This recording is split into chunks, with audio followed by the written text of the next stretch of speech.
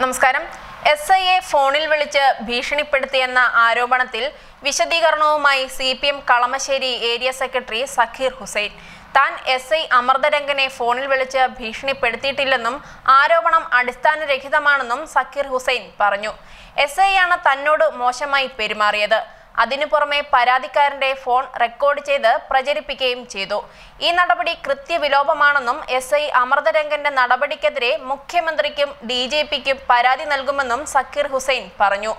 തനിക്കെതിരായി ഉയർന്ന ആരോപണത്തിൽ പാർട്ടി അന്വേഷണം നടത്തി കുറ്റക്കാരനല്ലെന്ന് കണ്ടെത്തിയിട്ടുണ്ടെന്നും അദ്ദേഹം പറഞ്ഞു. ഉന്നത ഉദ്യോഗസ്ഥന്മാരുടെ ഫോൺ സംഭാഷണം റെക്കോർഡ് ചെയ്ത് പ്രചരിപ്പിക്കാറുണ്ട്. എസ് ഐയുടെ ഫോൺ പിടിച്ചെടുത്ത് പരിശോധിക്കണമെന്നും സക്കീർ ഹുസൈൻ ആവശ്യപ്പെട്ടു. കുസാറ്റിലെ വിദ്യാർത്ഥി അക്രമവുമായി ബന്ധപ്പെട്ട് എസ് എഫ് ഐ ജില്ലാ പ്രസിഡന്റിനെ സ്ഥലത്തു നിന്നും പോലീസ് നീക്കം ചെയ്ത സംഭവത്തിലാണ് C P M area secretary Zakir ഹുസൈനും S I അമൃതരംഗനും ഫോണിലൂടെ ഏറ്റുമുട്ടിയത്.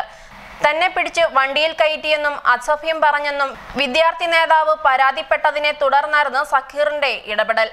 താൻ എസ് എഫ് ഐ നേതാവിനെ സംഘർഷത്തിനിടയിൽ സുരക്ഷിത സ്ഥാനത്തേക്ക് മാറ്റുകയായിരുന്നുവെന്ന് എസ് ഐ വിശദീകരിച്ചു. എന്നാൽ എസ് ഐയെ പറ്റി പൊതുവെ സംഘടനകൾക്കിടയിലും പരാതികളുണ്ടെന്നും കളമശ്ശേരിയിലെ രാഷ്ട്രീയ സാഹചര്യം നോക്കി വേണം പ്രവർത്തിക്കാനെന്നുമായിരുന്നു സക്കീർ ഹുസൈൻ പറഞ്ഞത്.